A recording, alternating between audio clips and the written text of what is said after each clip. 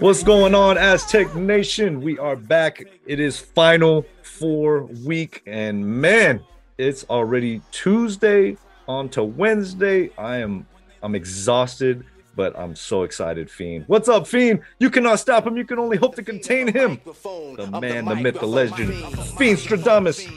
What's up?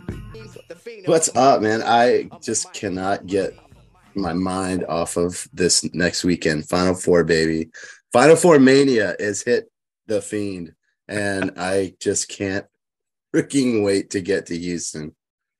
Well, we are going to make our way. Everybody listening and watching, be sure to subscribe to our YouTube, follow us on Twitter, Instagram, all that good stuff, because we're going to be documenting our trip, our journey, our road to the Final Four. Me and Fiend, we are definitely heading out to Houston, and a, a lot of Sons of Montezuma crew are going to be out there. So it's going to be a wild adventure, but we are looking forward to it because our Aztecs are in the Final Four playing against FAU.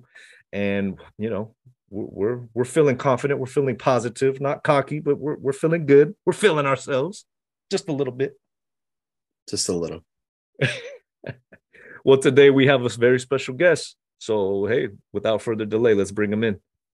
Joining us right now, his name is Kuwaku Amoku. He is a coach, professor, and founder of the AYBO. I did not know he was a professor, man. The professor, the African Youth Basketball Organization. Coach Ku, you may know him as he is largely responsible for bringing uh, African youth here into the States and to play. And of course, Nathan Mensah is the one we are going to talk about today because man, he has been killing it, killing it in the tournament. He's been dominating in the tournament. Coach Ku, welcome back to the Sons of Montezuma podcast, man. Welcome.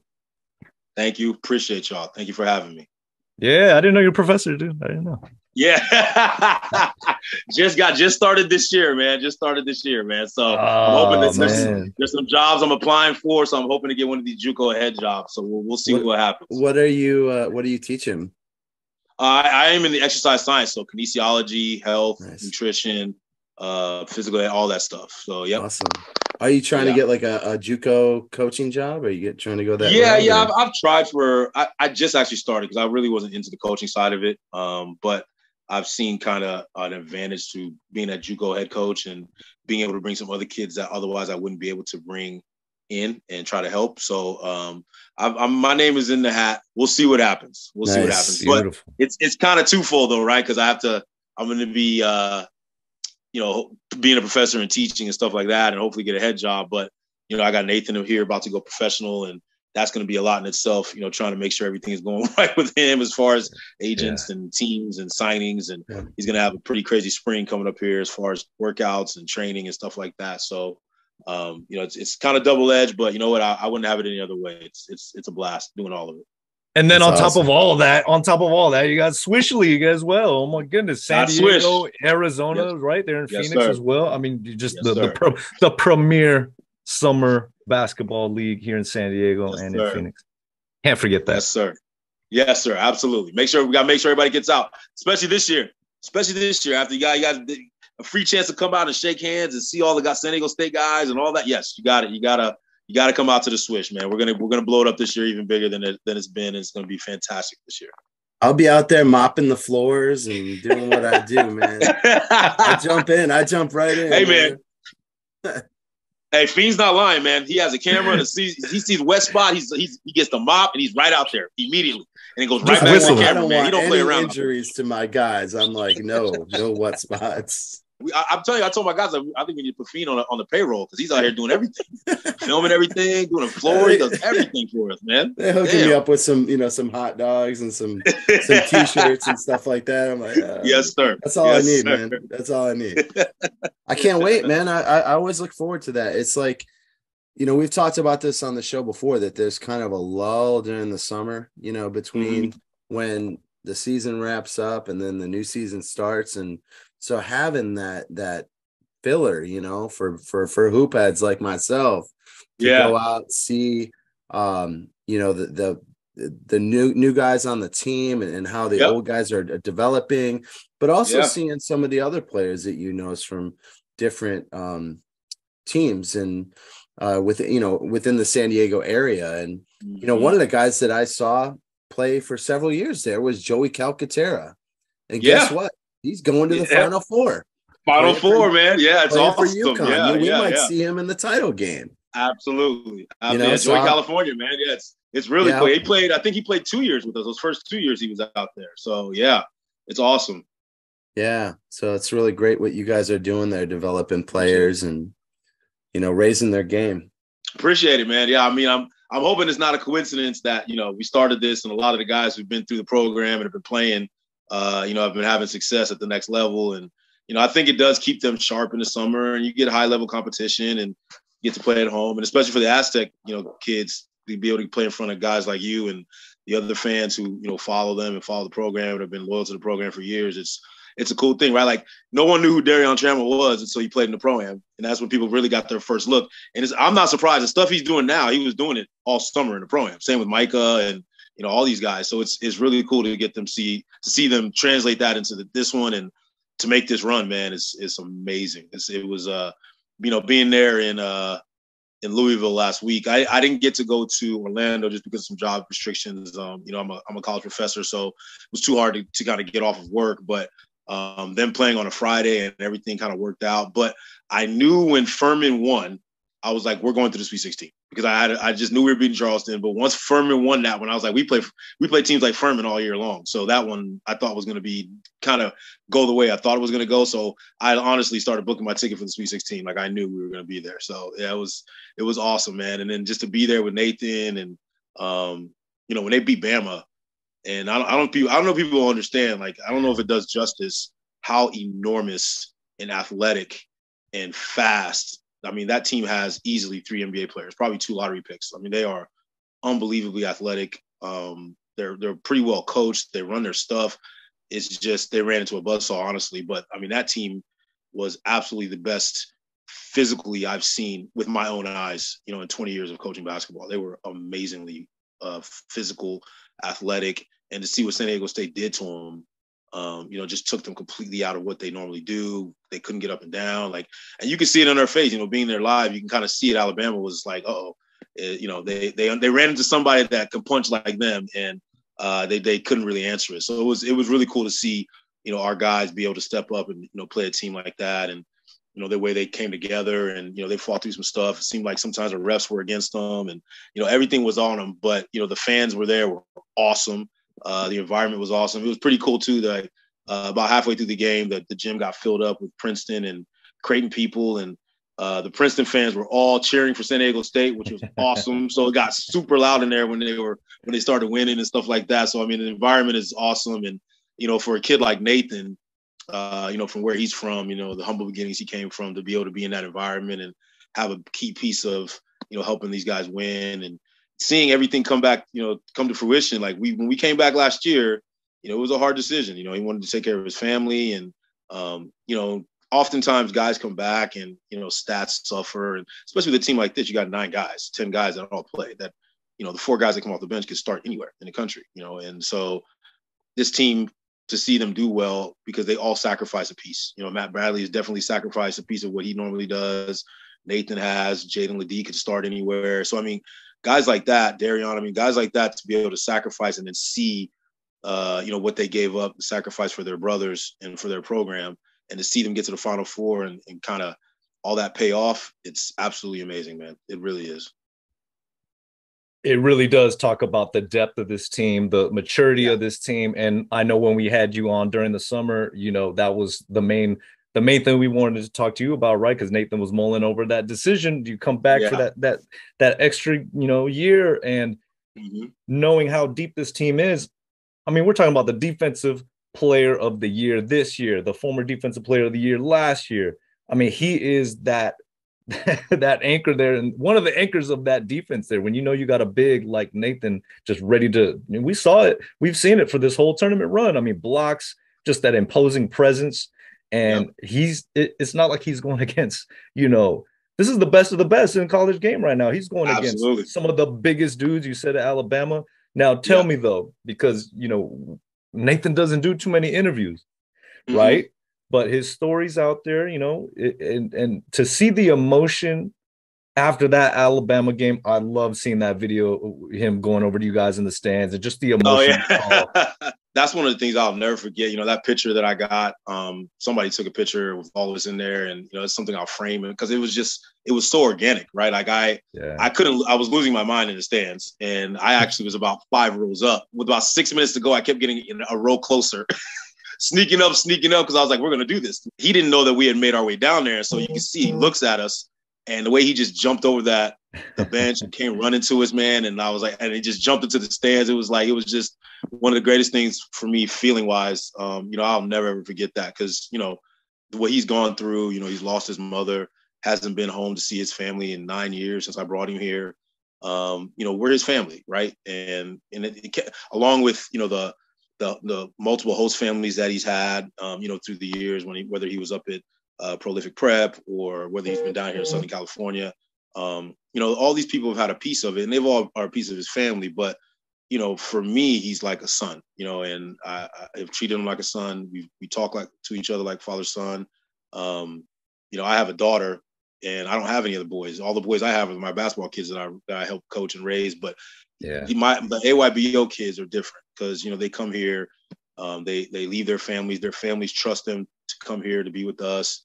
Um, so to see him jump over there and run to us, how with how excited he was, and jump into our arms and hugging us and all that stuff, it was uh, it's one of the things I will never ever forget, man. Never in my entire life. Like it's it's it was amazing. It really was, man. So and, I'm, and I, again, I'm just ex- so elated for him, um, to, for what he's gone through to be able to to experience that and to be there, um, was priceless for sure. Yeah, you know, I think for all these guys that made that decision to come back, I don't think mm-hmm. any of them now would would say that they regret that decision. You know, I mean, it's totally, totally worth it to come back and have this experience, not only to win in the Sweet 16, Elite Eight, but now to get to the Final Four. I mean, that that that's like you said, it's it's a priceless experience that you'll cherish forever. And those guys all made the right decision um, Absolutely. you know, to come back to San Diego State. And we've been just been so blessed with as fans to be on this journey with them, you know, yeah, and to to share that with them.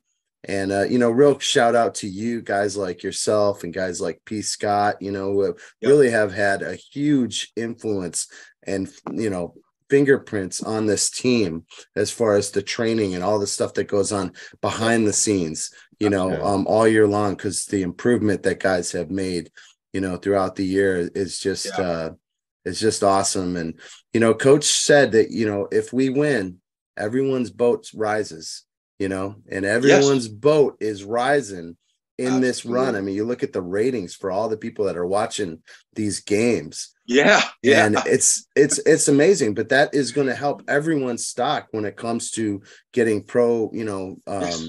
looks from pros and and whatnot i mean to It's funny you said the ratings too, because I've I've seen some, you know, I've seen some of the chatter and social media and all those platforms, and you know, people are upset. Oh, there's no blue bloods, there's no, there's no superstars, there's no this, there's no that, and it's like, you know what? Um, you know, eight something million people watched that Bama game, you know, or eight whatever million watched the Creighton game. You can say whatever you want. At the end of the day, basketball is basketball. And as far as the blue bloods and the high level players and all that stuff, that's disrespectful to guys like San Diego, to teams like Creighton, FAU. All those guys are high level players. The problem is these pundits and all these scouts and all these people who rate all these kids one through 100 when they're in eighth grade or ninth grade or 10th grade, they missed. They missed on these guys who are now seniors, juniors, seniors, whatever.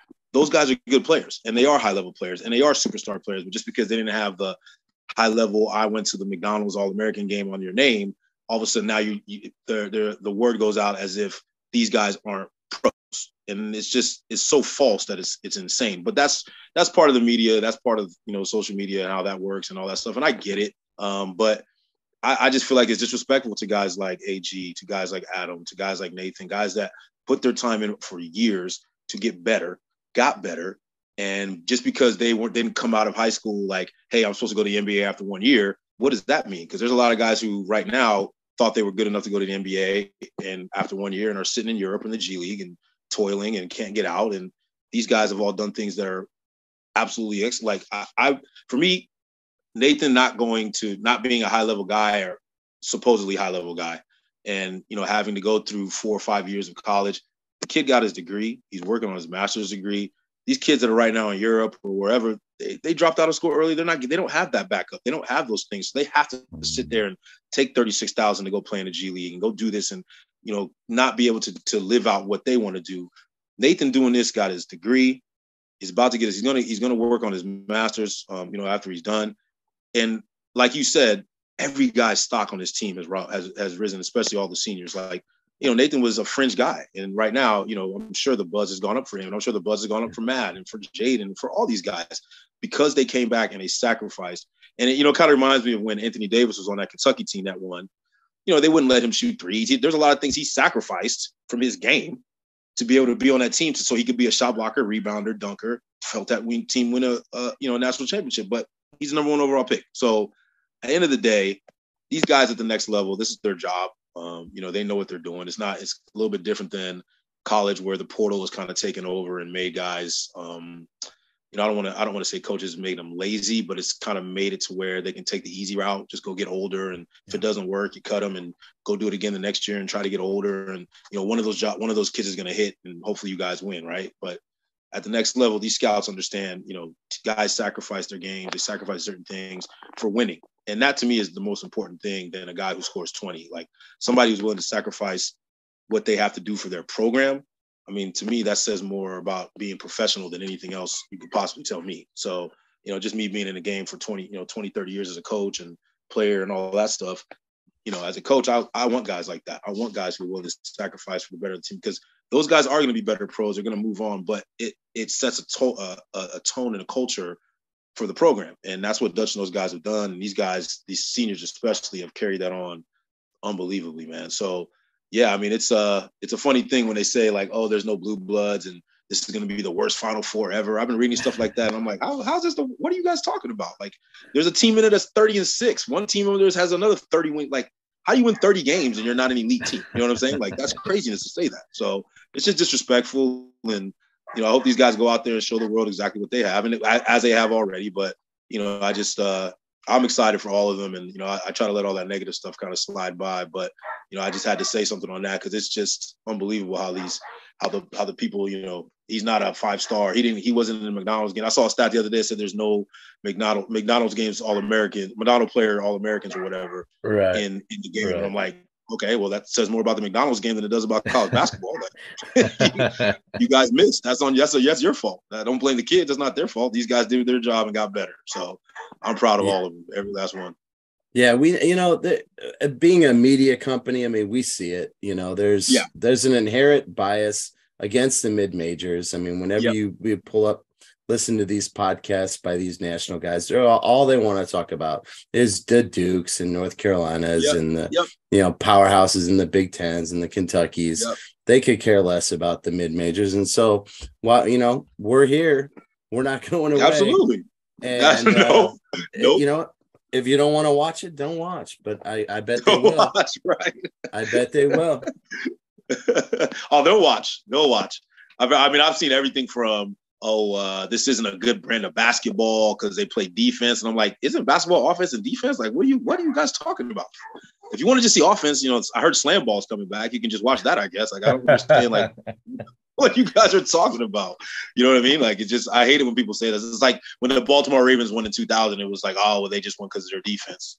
They won. You know what I mean? So, like, what are we talking about here? So, I yeah, I'm, I'm just thinking about that analogy today. I was thinking, man, yeah. we're like the 85 Bears or yes. the, the 2000 yes. Ravens, you know? Yes. I mean, and it's beautiful. It's beautiful to watch. Beautiful. Absolutely. You know, I love Absolutely. those teams because they played such great defense.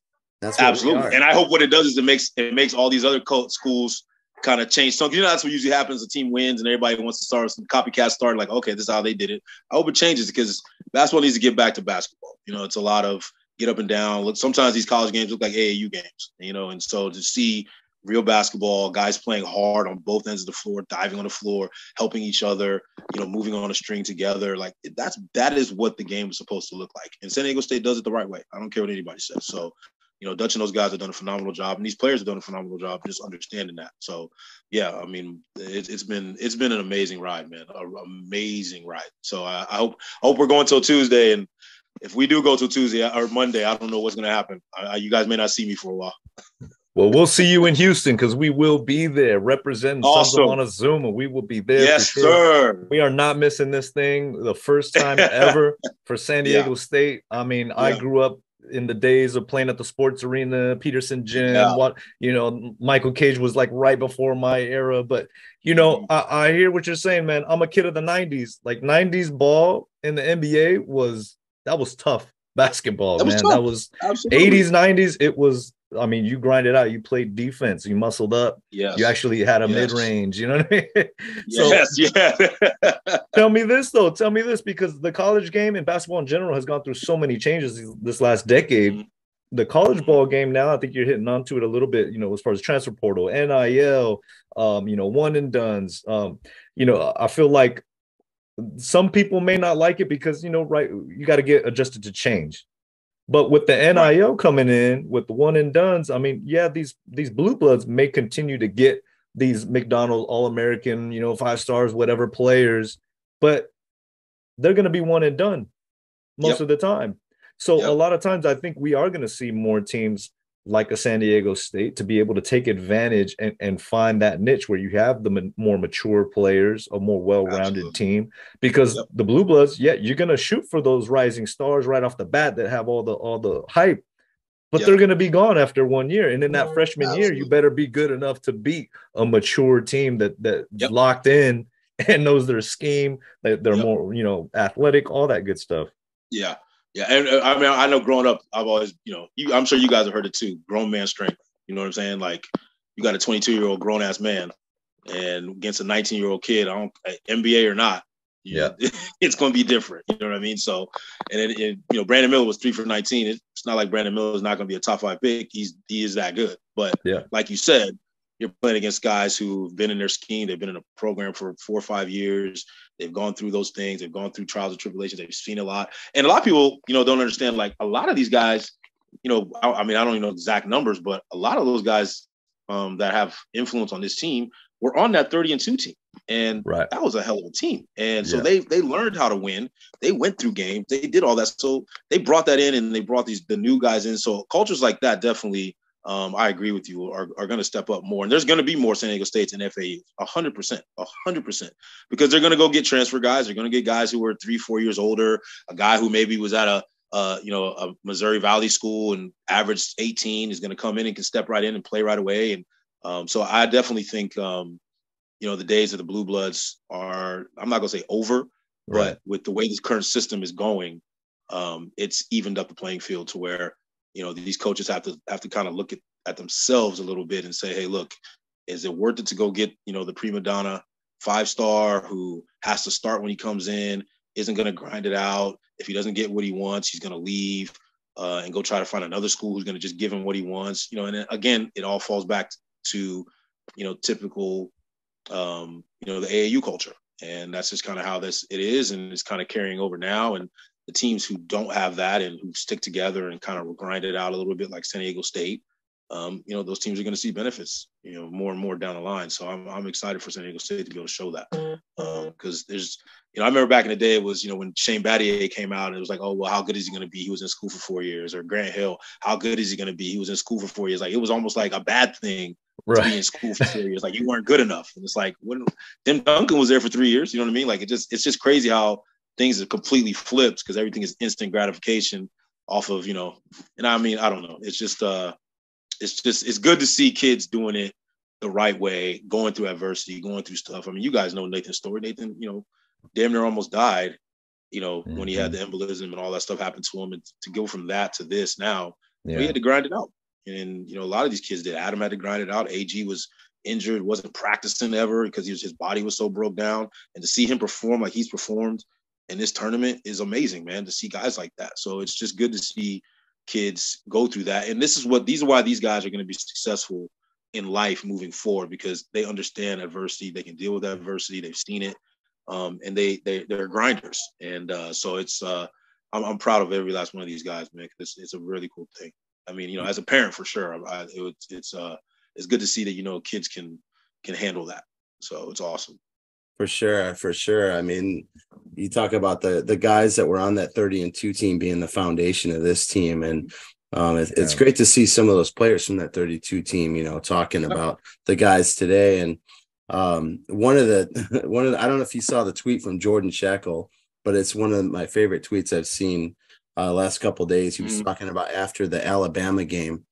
Um, he said one thing about Aztec men's basketball defense: it's so hard to score in practice. I had to come home some days and contemplate if I wanted to go back the next day.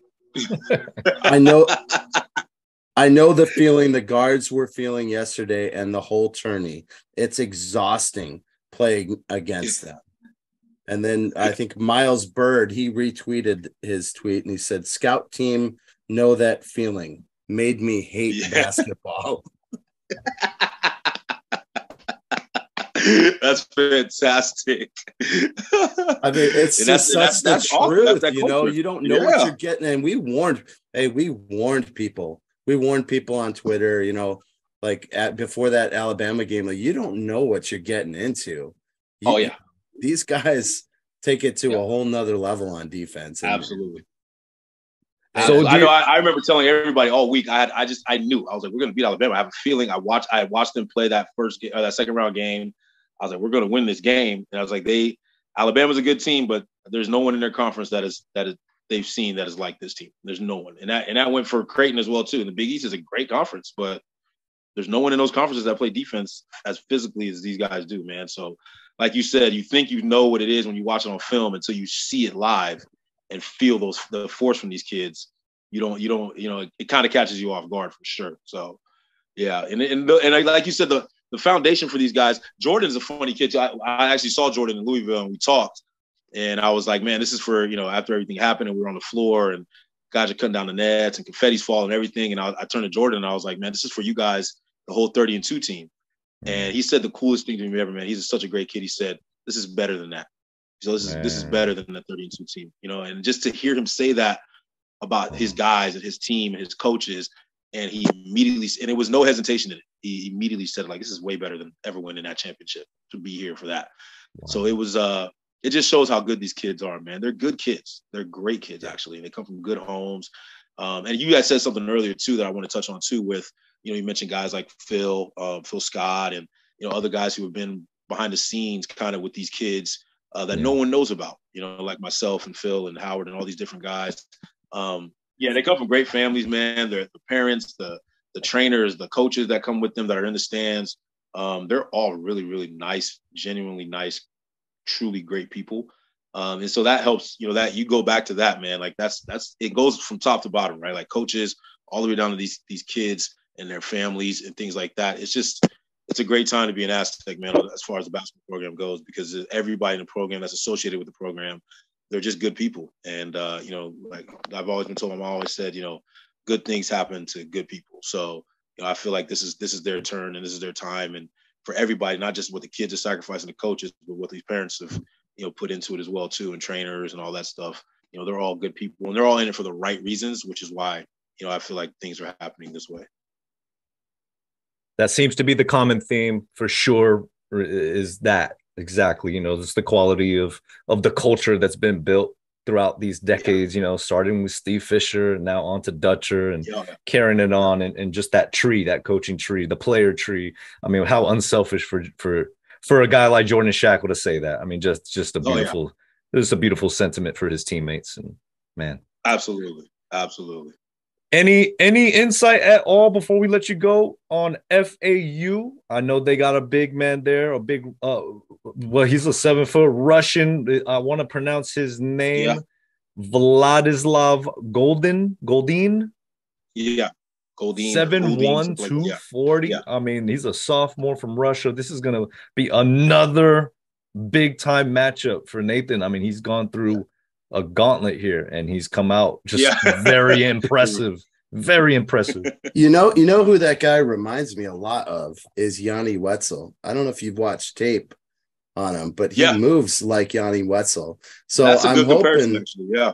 I'm hoping that you know Nathan, because he's played against Yanni, uh, yeah, Yeah. might feel a little more comfortable playing against that guy. Yeah. No, I think he'll be fine. I think um it's kind of cool that, you know, these last two games, especially for the Sweet 16 and the Elite Eight, um, he's got to see kind of two different styles of centers, right? Like Bediako and uh Clowney. Um, they're the more athletic rim runners, that type of thing. They're not back to basket guys, particularly. Uh, Clowney's more of a guard almost, like he shoots threes and things like that. Yeah. And when Nathan had to match up on Brandon Miller, who's you know six ten, that was all perimeter, right? Um, and then after that, he goes from that game and having to guard one through five on the perimeter and guard these super athletic long guys, and then flip it and you play Kalkbrenner, who's seven one, like 240, 250. I mean, he's a big dude. yeah. He's humongous. And to see Nathan take that every single time, blocking his shots on post ups and things like that. So it's good to know. Like I feel confident that he's going to be fine against this kid. Um, I, I think it'll be. I think it'll be more an adjustment for that guy. Um, kind of seeing Nathan's length because you don't really understand how how big he is and how long Nathan is until you're up against him and you think you have a shot and all of a sudden this you know stretch arm and, and big old hand and you know Paul comes out and knocks the ball out the sky. Um, I think it'll be more of adjustment for him. Um, but again, they have two really good guards. The Greenlee kid is really good. Uh, Alijah Martin is a stud. Um, so it, it's going to start with Lamont and Darrion kind of bothering them, getting in those guys, you know, uh, bothering and, and kind of just harassing them and funneling them to Nathan. And then after that point, it'll kind of be what the Aztecs do. But the good thing um, with this team is it's not like Nathan has to be. He'll have his opportunities where he'll be one on one, but for the most part, they they they do five to stop the ball, right? Like all five of those guys are engaged, know exactly where they should be, know how to rotate, and they all are five. They they look at it as their job to stop the ball together.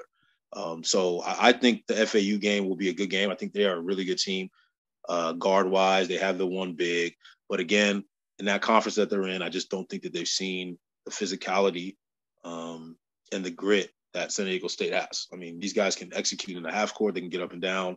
Uh, they can play defense in the half court. They can play defense full. And I just think 40 minutes of that with, you know, then when you come off the bench and you got, you take out Nathan and you put in, you know, Jaedon, who basically should be playing in the NFL, but has basketball skills. And you got to deal with that, you know. So, and then you got AG who's bouncing around everywhere. You don't even know where, you know what I mean? So I just think, I just think the depth um, is just going to wear them down, honestly. Um, and so that's kind of what I'm looking at. And these guys, I think they're, I think, I honestly think uh, that semifinal game is going to be a fantastic game. Um, you know, of course, we're going to win it, but uh, I feel like we're going to show out in that game to to be ready for for Monday for sure. I, I certainly like the matchup because I think our guards are just shutting down the other team's best guards, which Yes. really, you know, Yes. is a big plus in our, in our favor. And you know that that whole switching thing that you talk about. I mean, it, it it's only as you're only as strong as your weakest link, right? And Yep. usually on those switches, Mm. either your your your weakest link is either your point guard or your center. But Mhm. because you know be, uh, getting matched up on center getting matched up on smaller Yep. guards but Yep. i mean Ma- nathan is really making himself a lot of money showing his defensive versatility yeah, in this tournament i mean we all knew Yes. about it we all knew Yeah. he, can, right. he can guard small guards on the perimeter and not let them blow past him Right. but now he's showing that to the world yes. and I think that is gonna he he's gonna earn a lot of money because that is Mm. sort of his calling card, just that defensive Oh, yeah. versatility. And Yeah. um, I, I I I like this matchup. I, I think. Hey, we took down Alabama. I mean, I'm not going to get arrogant here, say, you know, but we, we got a shot against anyone, and and these Absolutely. guys. I mean, I just think we, we match up well again. I know they got a lot of depth, but so do we, and so that's that's not going to Yeah. be a uh, advantage for them. So, but I, I don't want to get too cocky. I mean, I don't, you know, I think it is going to be a tough game. There- You don't get to the final four by being um, a chump. You know, they're they're, No. they're gritty, they're resilient too, Yeah. um, and Yeah. they've had to overcome, you know, the the things that they've had to do to get to where they're at. So it, it's Yeah. going to be a tough game, no doubt. Um, but I'm. Oh yeah, I I'm mean they so they they they're very similar to San Diego State. I mean they've had a chip on their shoulders all year because yeah they've been a good team all year. And I've been hearing about Florida Atlantic all year long, but they they barely cracked the rankings just because they're Florida Atlantic. No one knows who they are. So um, they're definitely coming in with a chip on their shoulder, which is exactly what San Diego State is. So I agree with you 100. percent It's like you know I believe we're going to win that game um, and get to Monday, but it's definitely going to be a dogfight. They're going to bring everything they got. Um, but I just think this team is on a mission, man, and this is this is their time. You know what I mean? And just sometimes, as good as you might think you are, you are. Sometimes it's just not your time. And uh, I think this is San Diego State's time. Florida Atlantic, you know, had a great season and all that stuff. But I just feel like um, they're running into a team that is determined on a mission and connected all over the place. Like they're just they're friends, and you can tell it when they're on the floor, uh, when they're at practice, when they're on the on the bus. Like everywhere you see them, they're all connected, and uh, I think that chemistry um, is what kind of brings them to that one goal, which is win. Which is why they all sacrifice pieces of their game, um, you know, to make sure that the team does what they're supposed to do. And that's I feel like in the end, that's going to carry us to a championship. Is that these guys genuinely love each other? They're genuinely happy to see each other succeed, um, and they're genuinely uh, happy to play for each other. Which you know, I've been in college basketball a long time. It's a rare thing, man. Like you can put a bunch of five stars together, and it doesn't matter because if they don't like each other or they genuinely are selfish people and don't care about their teammate or their brother being successful, it's not going to work. And this these guys care about each other um, being successful. So, and it's good to see that you know from that they their stocks individually um, are all rising, and you know to see that they they can they'll they'll be able to physically see that in front of them like hey you know i did this for the team i sacrificed. I'm not averaging as many points as i did last year or i'm not averaging as many rebounds or whatever it is or in nathan's case rebounds or blocks or whatever.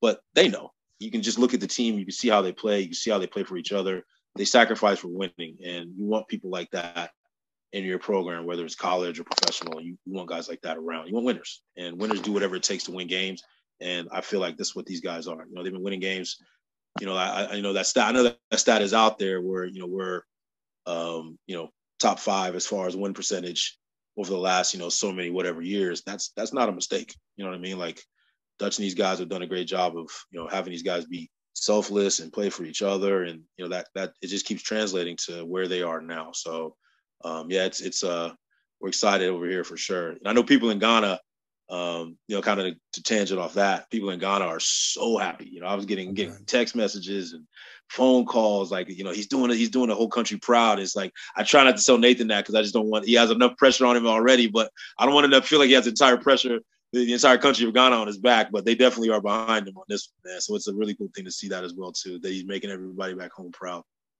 Oh, that's awesome to hear, man. That is awesome to hear. Well, Coach Ku, man, we appreciate your time. I, I think that that's some great stuff, man. I'm so I'm so glad. That's some great stuff. I mean, to like I said, to see that that outpouring of emotion after that Alabama game and to see it roll through on against Creighton to get the the one point victory, a tough game, but man, we're so happy and Yeah. proud to see Nathan just perform on the big stage and and you know all the sacrifice, all the dedication, the hard work. It's it's it's showing for everyone to see, man.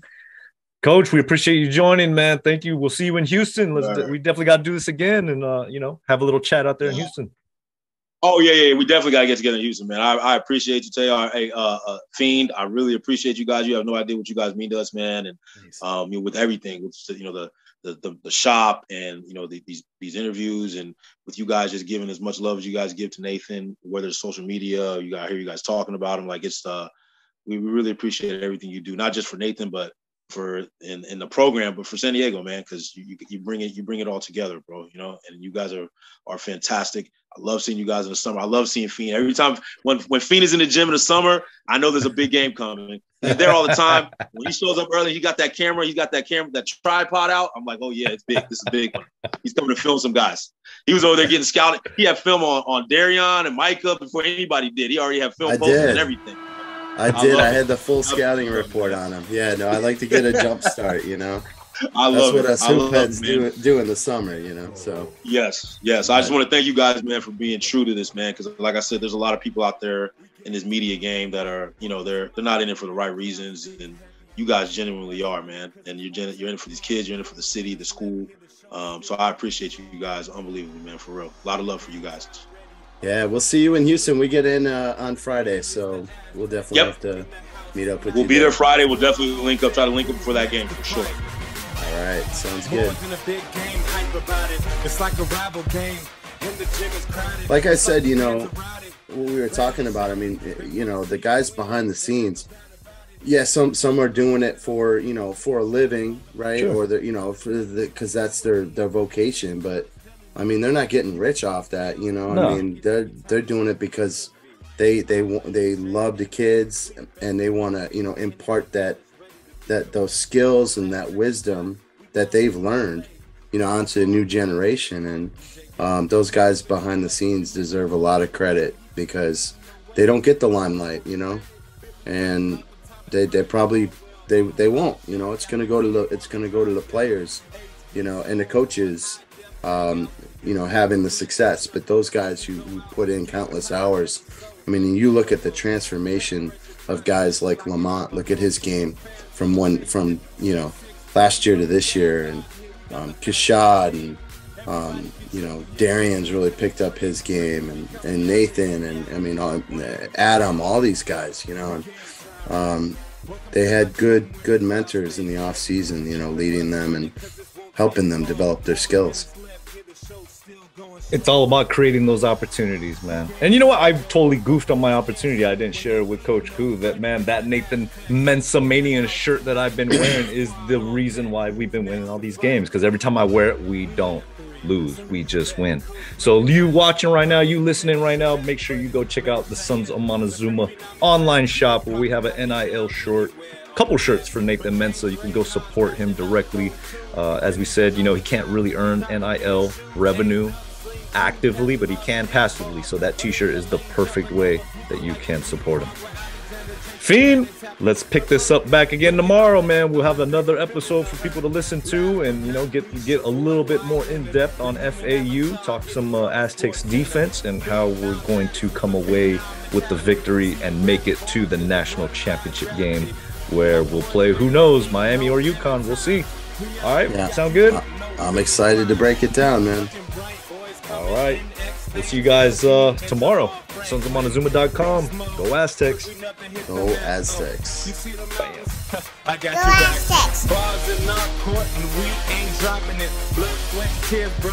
Ain't no stopping it. With team on three and family on six. And when you hear it done, it all means this. We game time ready. Welcome to my gym where the crowd.